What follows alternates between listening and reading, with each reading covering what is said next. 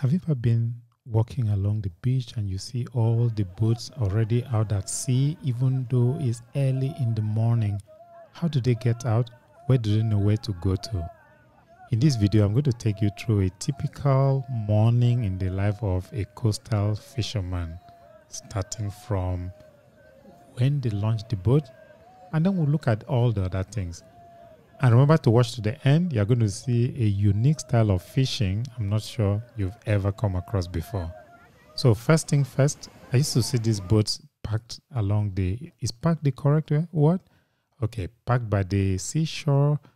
And I was wondering, what type of paddles do they use? And then found out, oh, they're engine boats, just that the engines are removed at the end of the day. And then there's so many people where are they going to fit in and how will the fisher people bring in the catch? Okay, another thing I learned all these people you see here are just helping to launch the boat. Only one person is going to go out with the boat. That's the power of technology. And then I have plans for sea kayaking, you know, soft launching. And when I saw this big boat being launched, hmm, had to review it, but I'm still going to do my sea kayaking. But back to the boat. So I was watching how they time the waves, how they time the incoming rollers, and then how do they nail the perfect one? Chalk it down to experience. Oh, this stretch of beach is by H Resorts in Ibeju-Lekki. Check them out on Google Maps. Now you need your engine to answer on the first pole. And check out those guys. They had to swim back. Talk about commitment. If you enjoyed this video, remember to press that like button down there and subscribe for more videos like this. With all the horses pushing the little boat forward, it wasn't long before he met the boats that had left earlier. He met up with all the other boats. They did whatever boats do when they meet each other. But let's come back to the shore. Let's look at this type of fishing that combines a coastal boat with people on land. I've only seen this in Ghana. Is it Federal Republic of Ghana or just plain Ghana?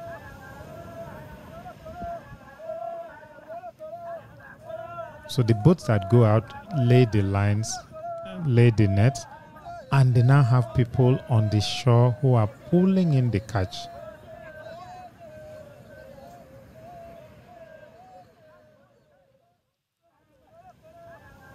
And this pulling is a lot of hard work. I tried the line it's tough.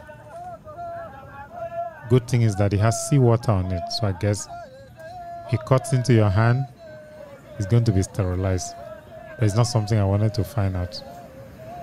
So those guys they have like a piece of cloth wrapped around the line to stop such things from happening.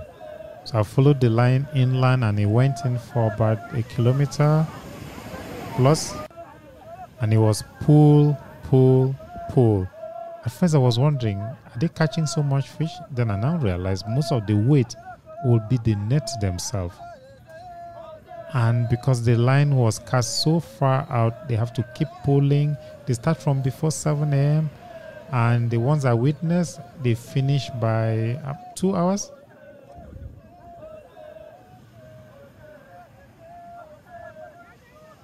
So I missed this guy jumping into the water because I mean he went towards the sea line, and then next thing he just jumped in.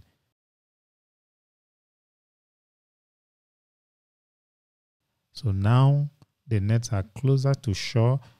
They are pulling the nets. And I noticed that the people pulling the nets are also moving laterally. Aha! There is more than one team. This is a U shaped net. So they are moving towards each other. Now the net is out of water. Nothing much to see, and it was like, I hope these guys are going to catch something. So now a lot of hangers on have arrived. Most of them are traders, but there's this tradition that okay, if you join in pulling the net, you get a little bit of catch. So enough for you to cook a nice decent meal the jaws are closing and the two teams are almost touching each other. So now the net has closed, no room to run. Traders, hangers on, kids, everybody has now joined in at this point. This guy has some real stamina. So this is the end game.